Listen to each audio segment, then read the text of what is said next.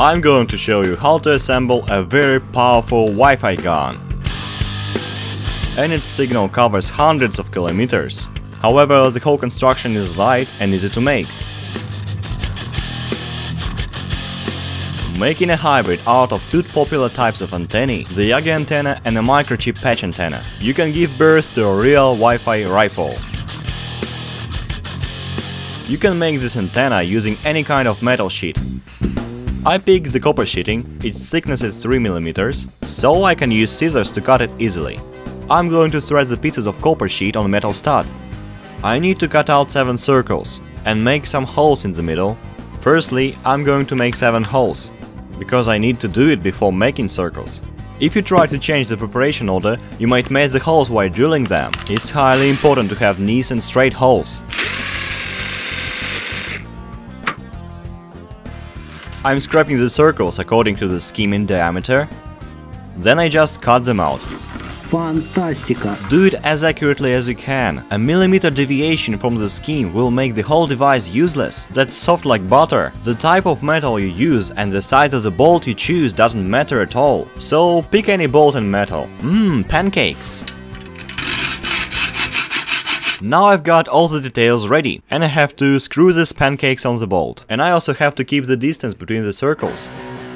This Wi-Fi gun is as easy as Lego puzzles.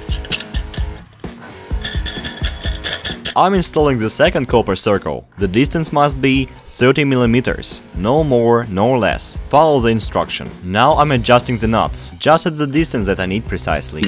Oh, super. I also must make some extra holes for the wires in the first and the second large discs. The blaster is ready, and the last thing is to attach it to this device. Firstly it's going to be a USB modem, then we attach them to the smartphone, and the last thing is router, for the internet sharing of course. Through the Wi-Fi gun, I disassemble the Wi-Fi wireless adapter to connect it to the gun. I want to get out the antenna, and this should be done carefully.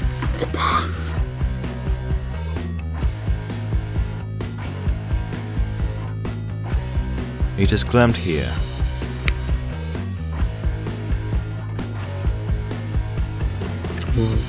That's much easier than I supposed. I'm tinning the places where I'm going to solder. Just have a look. Wow, the soldering goes hard. It has changed the color. soldering the wire to the disc the outer braid of the adapter to the first disc, and the central winding I connect to the second circle.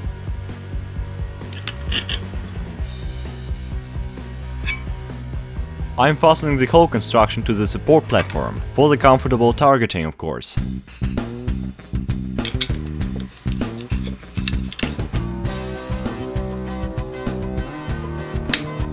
Wow!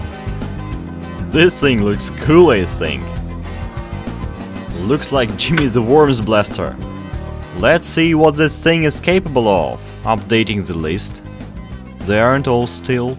Wow, 11 routers! This result is unbelievable for the neighborhood I live in, and I must admit that my usual router can find only one signal. When I turn the Wi-Fi gun aside, I can see some absolutely different signals than in the previous position. This proves that my Wi-Fi gun works exactly as a gun. Now I'm going to connect to the Wi-Fi module of my friend, he gave me the password in purpose. He lives in 500 meters from me. Holy donut! I didn't expect the signal be so strong. Let's check out the connection speed. This is the whole speed the internet provider gives. This means that the Wi-Fi gun doesn't lose the signal power. To make sure you will get a Wi-Fi signal in the distance of more than 1 kilometer, I recommend you to install the Wi-Fi gun on the roof. Put it off. I'm going to get a usual satellite TV cable. I tear off the extra part of the TV connector and then I drill one of the discs. It's the last circle of the Wi-Fi oh. gun. And finally, I'm screwing the cable nut inside. Oh. I'm screwing the cable inside.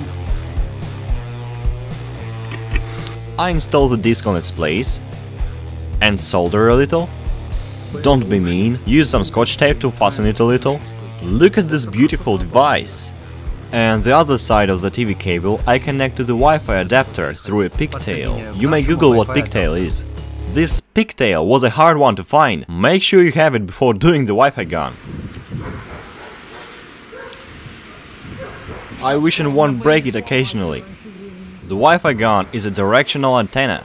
That's like a rifle. I have to aim the target Wi-Fi directly. Perfect. This time I've got much more signals.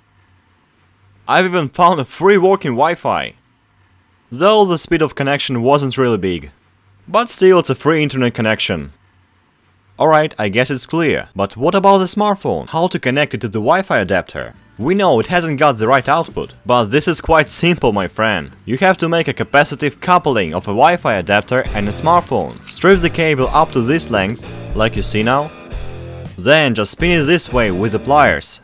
Then put the zigzag close to the place where is the antenna of the smartphone. It's usually located in the upper or downer parts of the smartphone. I use a plastic casing to fix it better, this way I can switch it off easily. Let's show you how it works. I go to the Wi-Fi settings on the device, right now I can find only my network. Now I'm attaching the Wi-Fi gun then I wait a few seconds. Smartphone needs to find it. Wow, it's going already! Oh, the number of signals is still growing. Let's see what a Wi-Fi analyzer program will show us. Oh my, look at this, I've just moved it closer. So, you can use the Wi-Fi gun to catch some internet for your laptop, tablet, anything you want. My Wi-Fi gun can catch some Wi-Fi signals, but it can also cast some Wi-Fi. Just attach it to a router.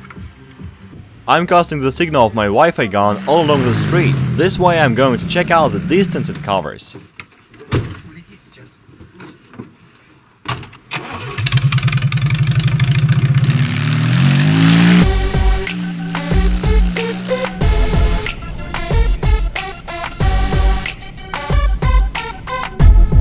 That's 300 meters right now, but I still get the signal like I'm at home. We have crossed the borders of our town now, and the Wi-Fi still gets the signal. Let's check out the connection. It's working, but not that fast obviously. I want to know its limits! In the distance of 3 kilometers, I have lost the connection. Seems like the phone's antenna isn't big enough, so it can't find our signal there. But it's okay. I've made another Wi-Fi gun. It's fastened to a car with a magnet. Now we're using Wi-Fi guns both in getting signal and sending it. It even reaches two extra Wi-Fi signals from the city. The city is in 10 kilometers from here. Now it's 5 kilometers to the town we left the first gun, but it still gets the signal perfectly. Let's measure the speed of the connection. Oh, this is really unbelievable. Alright, let's move to another town. We are going to test the extremely long distance connection.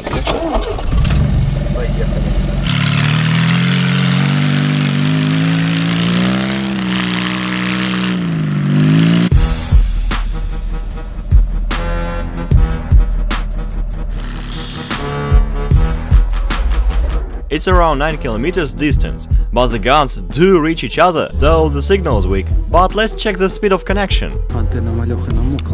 Here it goes. Oh my god, I didn't expect it to be so powerful! This Wi-Fi is super distant. Now I know I can cast some internet to the dacha, or at work, or at school, anywhere. It reaches every place. The main thing is that it's so easy to make and it doesn't require any special materials. If you don't trust all these DIYs, if you got used to good proof things, you can watch my video, where I explain how to cast a Wi-Fi signal in the distance up to 50 kilometers. 50 kilometers! Using the trusted and professional equipment. Now Kreosan team is rushing fast to make some new creations. Write what you like to see there.